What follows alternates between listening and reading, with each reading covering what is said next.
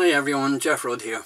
Uh, as most of you know, for the last week, Micheál Martin and Leo Varadkar have been taking, or trying to at least, uh, take lumps out of Mary Lou of Sinn Féin for taking a court case against RTE over something they are alleged to have said or alluded to that was supposed to be false.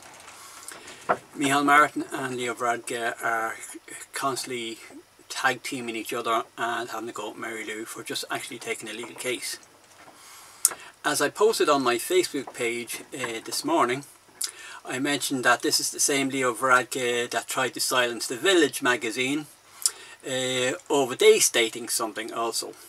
Something that actually was also true and by an apology from Leo Varadkar, public and in the Dáil, it, uh, it was proved to be true. So he was legally threatening them. So it's, a, it's okay for him to legally threaten uh, media, but when Leo Varadkar uh, sees anybody else doing it, he rubbishes them or tries to knock seven bells out of them, attacks them basically.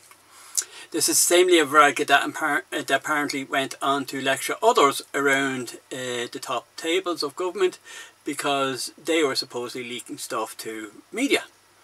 So the leaker was lecturing others about leaking stuff after he attacked uh, media and threatened them over stuff that they wanted to say. And this is same Leo Varadkar that also is coming from the Party of Law and Order, uh, Law and Justice, Fine Gael, as they like to call themselves uh, in a subtitle. They supposedly standing up for justice be carried out and allowed to be carried out. And then on the other hand, they're saying, well, Mary Lou is not likely entitled to do the same, but when she does try, they try and knock seven bells over. So it's a case of double standards. Now most of this is obvious to people, but there is one aspect that is more worrying. Leo Varadkar and Micheál Martin are saying that Mary Lou is trying to intimidate RTE into silence. As a citizen of this country, every person is entitled to defend their name, be it any or media organisation, and every other media organisation has a right to defend themselves too, in return. But what they're trying to do now is intimidate a woman into silence, and quite frankly, by association, intimidate anybody else from Sinn Féin into silence if they dare even challenge something that's said against them. Rightly or wrongly, if they challenge it, it looks like Micheál Martin, Leo Varadkar, Fianna Fáil and Gael are going to attack those even trying to take a case and defend their good name. If there is a good name to defend. So, not only is this now a form of, intimidation, and possibly a way to try and stop them trying to defend their own name by intimidation, and if you do so, we'll attack you. There is another important aspect. Micheál Martin and Leo Varadkar could be accused of interfering with an ongoing legal process. The journal.ie, another website that have comment sections, closed their comment sections deliberately down when they mention topics that have an attached legal case pending or ongoing.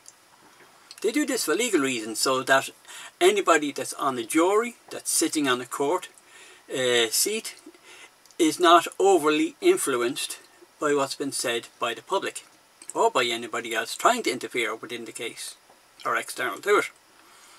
Then we have Leo Varadkar and Micheál Martin knowing there is an ongoing legal case pending in the Dublin High Courts throwing their oar in across radio and newsprint media and besides the television stations when they stand up in the Dáil knowing that it's recorded and will be broadcast on RTE etc.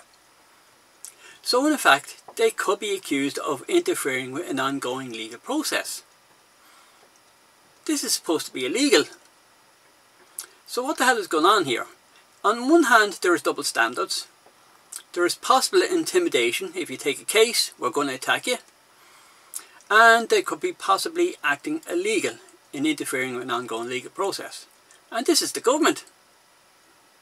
Folks, you couldn't make this stuff up. Well, you couldn't, but apparently Fianna Fáil and Fine Gael can. How Ireland works, it's not good enough anymore. It's time for better. Thank you for listening.